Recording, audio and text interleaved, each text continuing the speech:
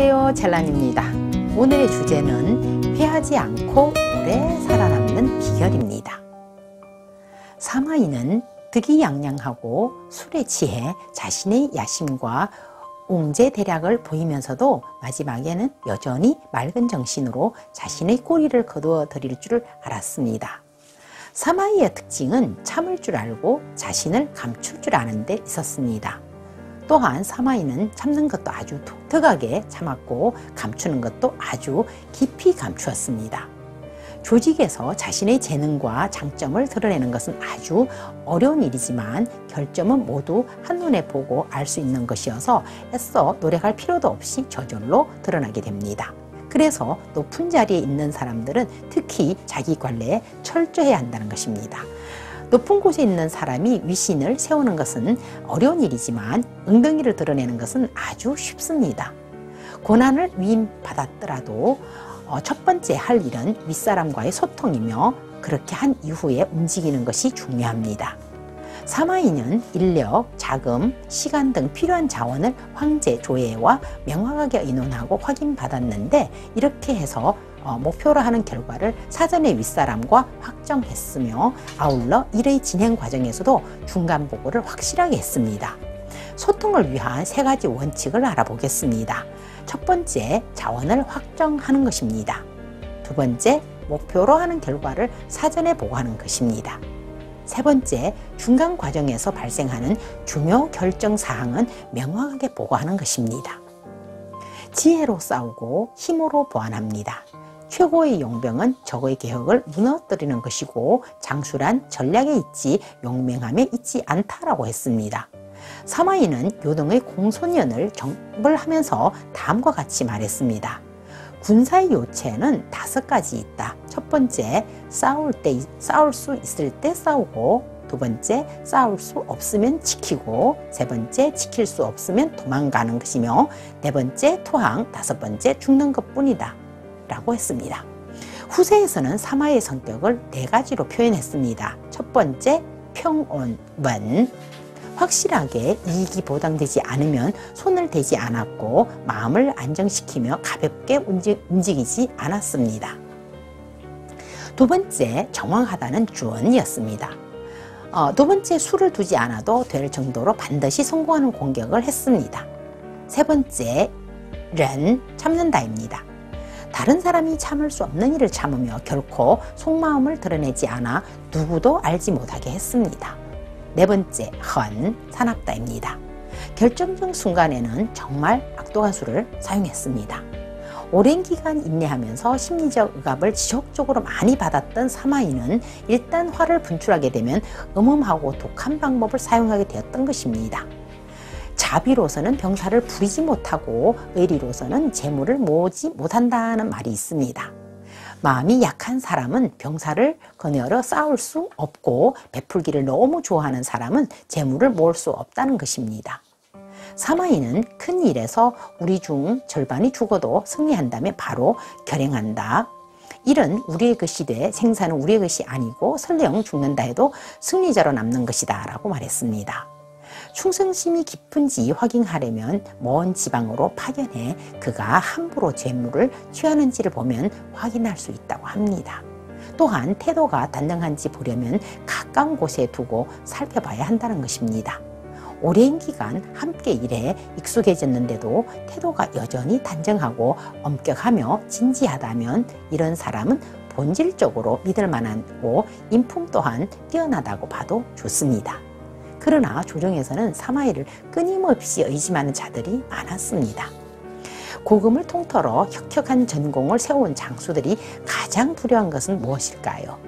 조정이 그의 충성심을 의심하는 것이었습니다. 큰 공을 세운 뒤 모함으로 죽은 장수들이 많았고 군주들로부터 토사고팽 위험이 늘 있었습니다. 평화는 장군이 만들지만 장군은 평화를 누리지 못한다는 말이 있습니다. 천하를 다투는 시기에는 장수가 필요하지만 천하가 평정된 이후 장수는 화약고로 변할 수 있어서 어떤 공헌이 있었고 보수와의 관계가 얼마나 좋았는지에 상관없이 숙청 대상이 되곤 했습니다. 때로는 군주가 공신들의 부귀영화는 보장하되 병권은 회수하는 조치를 취하기도 했는데 이는 아주 온화하고 후덕스러운 군주의 덕치라고 할 수 있습니다. 우리의 일생은 다양한 기회로 가득 차 있으며 주어진 기회를 얼마나 잘 운영하느냐에 따라서 운명을 바꾸는 큰 변화가 일어납니다. 능력 없음을 걱정하지 않고 기회 없음을 걱정하고 말하지 못하는 것을 걱정하지 않고 받아들이지 않을까 걱정한다라는 말이 있습니다. 모든 사람에게 기회가 필요하지만 기회란 어, 제한된 것이라서 다른 누군가에게 주면 나에게는 오지 않고 나에게 오면 다른 사람에게 줄 수 없는 것이 되겠죠. 낮에는 생각하는 바가 있으면 밤에 꿈꾸는 바가 있다라는 말이 있습니다. 목마른 사람이 샘을 파는 법입니다. 중요한 일은 자신이 직접 일을 처리하면 어, 시기와 기준 모두를 잘 조정할 수 있지만 다른 사람이 대신하게 되면 많은 정성을 기울이지 못할 뿐만 아니라 고민도 깊이 할 수 없게 됩니다. 오늘의 일은 반드시 해가 지기 전에 완성해야 하는 것이니 그렇지 않으면 중대한 기회를 잃을 수 있고 통제할 수 없는 위험을 초래할 수 있습니다. 내일부터 돈 모으자. 그러나 역시 제자리 걸음이 대부분입니다.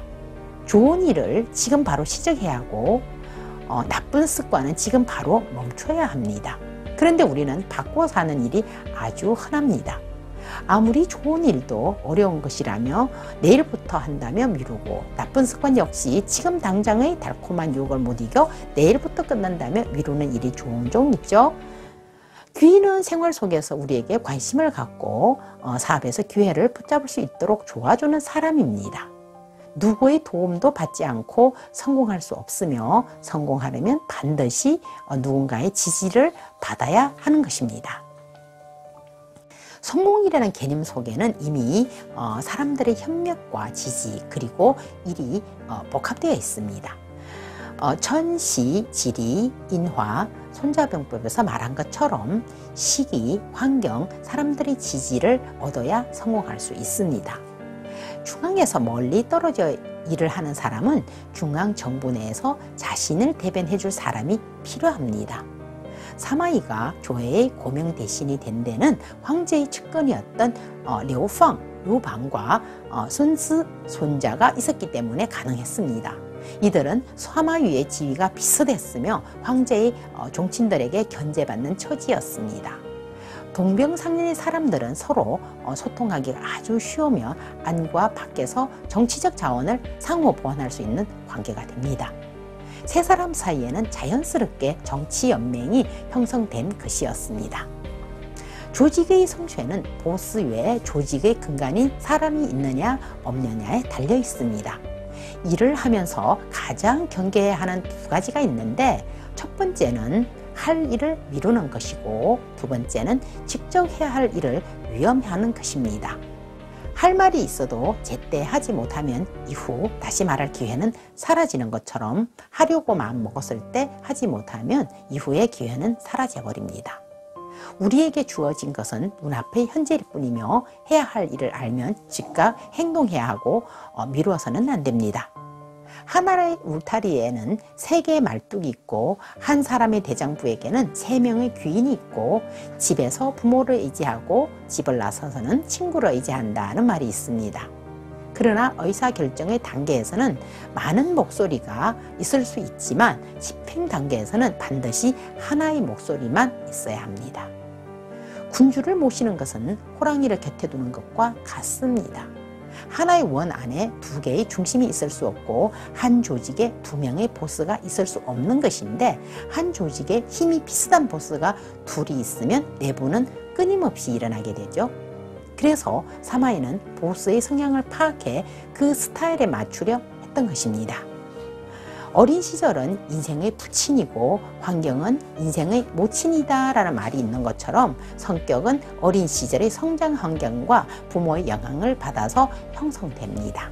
그런데 새 황제 조의 모친 견황후는 질투했다는 이유로 아버지 조비에 의해서 자진하라는 황명을 받고 죽었는데 장래도 초라했다고 합니다.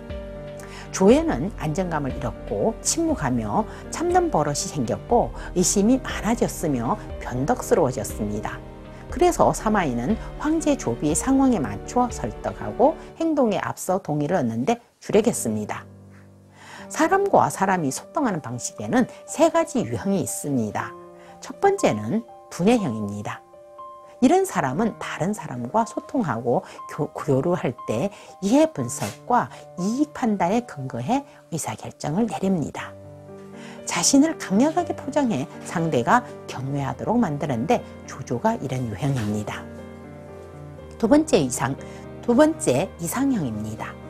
이런 사람은 다른 사람과 소통하고 교류할 때 이상, 신념, 가치관을 갖고 이야기합니다.